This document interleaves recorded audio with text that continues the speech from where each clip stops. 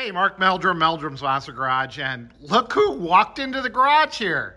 It's the famous John Perrette, and this guy's built transmissions for us left and right over the years, and he built the transmission for the uh, 70 Chevelle over there, and of course a number of 66 Chevelles, and uh, he happens to be going down to Florida, and I caught him here in Ohio, and he's going to take this back to Florida and do a rebuild on it and I'm I'm super happy about that. And then hopefully when I go down there in January, I can pick it up and bring it home.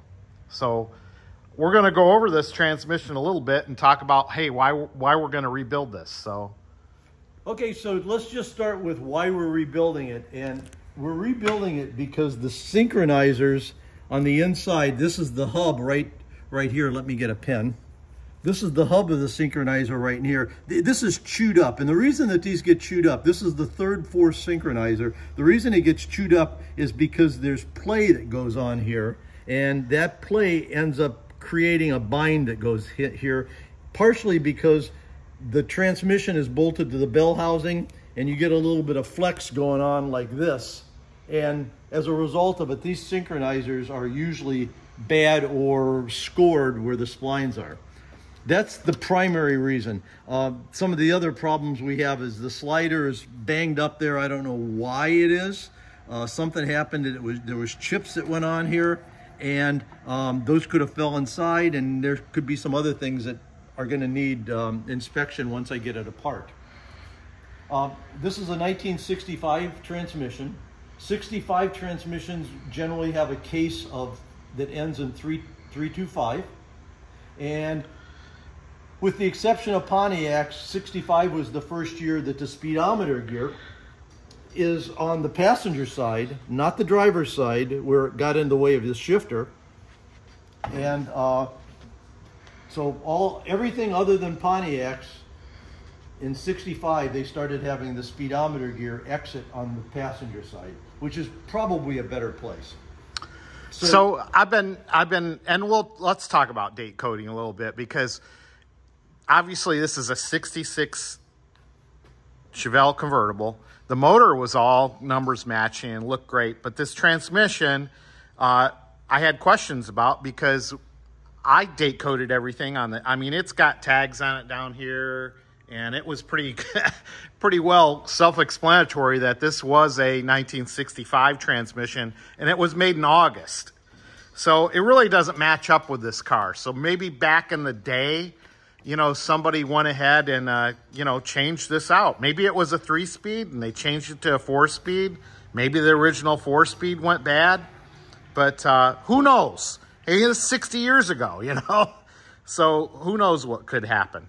But, you know, if we could, we could look at the, uh, the P08, which would have been August 18th, right? Right. Made, made in. So it's P for passenger gear, uh, 08 for the 8th the eighth month, which is August, and the 18th day. And 65, 65s were unusual because they had uh, stamping that wasn't was not gang stamped. It was stamped individually. So these these these stamps for the 65 are unique to all the Muncies. Also, I th this is very interesting. This particular one, it looks like there was a number that was ground off of it, and and then it was restamped. And this looks to me like a like a General Motors restamp, and they probably had their reasons for for doing that. I've seen these before with this particular type of configuration. This is not generally the guy in the backyard uh, grinding it off to put a new date code on it. Um, usually that happens with VIN numbers, but not date codes. So this is a 65, and uh, that's that, that. In my mind, that's a legitimate stamp, even though it does look like it was restamped. And if you look up here to the top, right here, you'll see the VIN number of this particular transmission. Right. And it starts with B, meaning it's Baltimore. And um, uh, it was it was the 3,908th car that came off that came off the line. So it, it was originally in a car and that came out of Baltimore. Gotcha. Um, now our car was Baltimore, and it was built in May and I, that number does not match up with the serial number on the car. That would have been May of 66. 66, right. this was August of 65.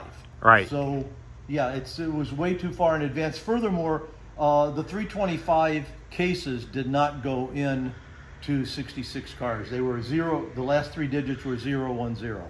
All righty. So we, we know that it's not. The other thing that's interesting on this, because it's a 65, it does not have any grooves on the input shaft. There's no grooves here. And that does not mean that it's an M22. The 63s, 64s, and 65s had no grooves, and this is an M20. If it was an M21, a close ratio, M21s would have one groove. So you got to be careful. If you don't know what year transmission you're buying, you could think that this was an M22, but it is not. Gotcha. So, just there was some changes that occurred. In, God, I'm giving John a workout this morning. changes that occurred in '66, and I, I just want to go over those quickly here.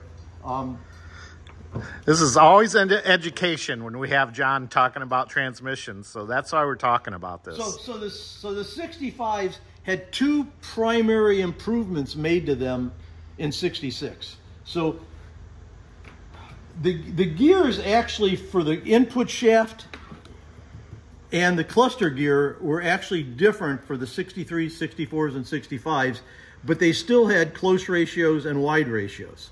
And I, as I said, this is a wide ratio.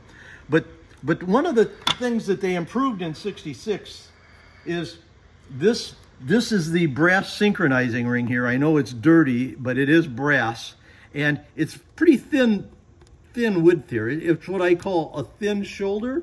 And in 66, these, these shoulders were increased almost double. They were not quite a quarter of an inch.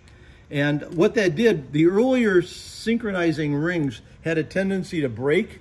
They broke they broke right where there was a cutout. There's three cutouts on that ring and they used to break right there. And once they break, they won't go into gear anymore. So uh, we're going to upgrade this transmission and put a 66 and up synchronizing unit in it, which means we have to change the hub. The hub's bad anyhow, so we're going to change the hub and put put the later style synchronizing rings in it. The other thing that was done differently in 66 that was another improvement was in the front here, this is the cluster gear pin or cluster gear shaft, this here. And, and on 65, 63s, 4s, and 5s, this was 7 eighths of an inch in diameter, and it's currently in 66, and thereafter it's 1 inch pin. Um, it, it, it, it's nice to have the one inch pin. It's not necessarily as crucial. I think the most important change was the uh, was the synchronizing rings getting uh, uh, a thicker shoulder. So yeah, this isn't going to be a high horsepower car. It's going to be a, a daily driver with just that 327 is only going to be about 275 horsepower. So, you know, we just want something that shifts really smooth and nice. Um, reliability, uh, absolutely important to us, but uh, not from a standpoint of drag racing. or originality. Yeah. Well, we'll take care of that. And uh, Mark's been down to see me in Yeah. Florida before, and uh, sounds like he's going to be down there again in January. So- and uh, I'm Yep. going to give him this transmission and maybe yet another one for another customer I have in Ohio. yep. So we'll see you in January, hopefully. Okay, take care, Mark.